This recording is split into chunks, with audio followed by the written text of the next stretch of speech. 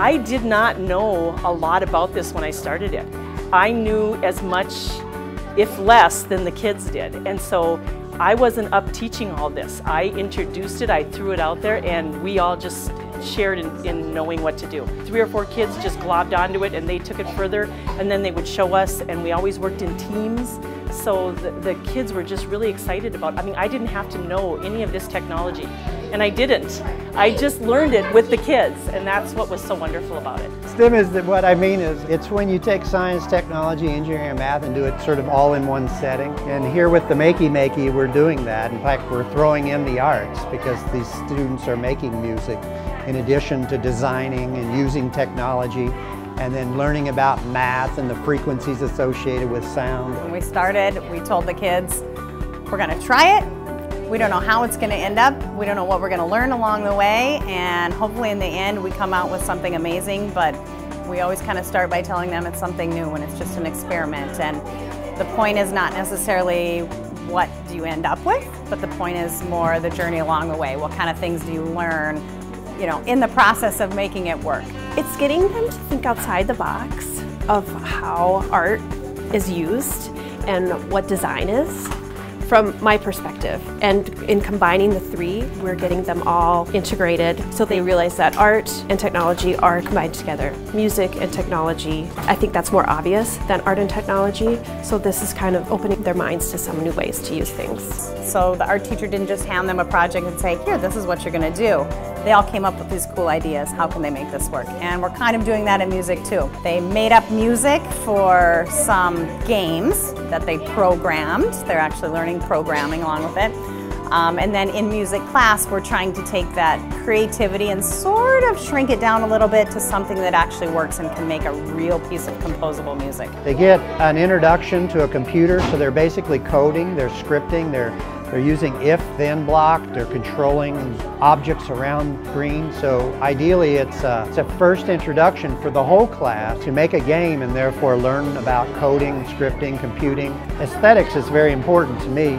And I think it's um, what the design process is, whether you're in engineering or you're an artist, a musician, it's what we do. And it's really cool to like take scientists and artists and put them in the same room and just sort of like, oh yeah, we do that, oh yeah, we do that, then what's the difference? To me, it's really the same. Well, a Makey Makey is a little device about like that big. You hook it up to your computer and it has like the keys of like your arrow keys and click and space space. And so what you can do is hook it up to ordinary things like we're, we're hooking up to like apples and bananas and oranges and plugging it into your computer because all you need to do is put like plug in your USB. You can touch that and it will play something else on your computer.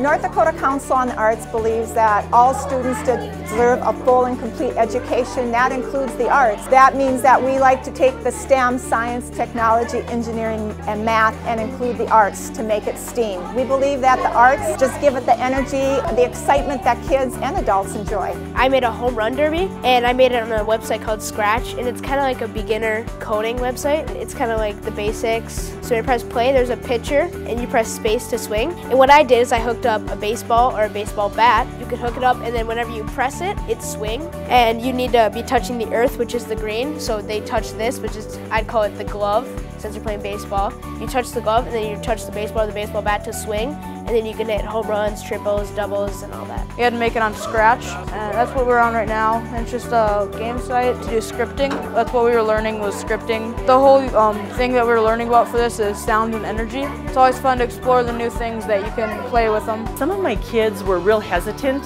about using it, and they were real tentative about trying things. Once the art teacher started making instruments, it kind of loosened them up a little bit. They were more creative, and the music teacher got them to write music scores that they played music with on their instruments.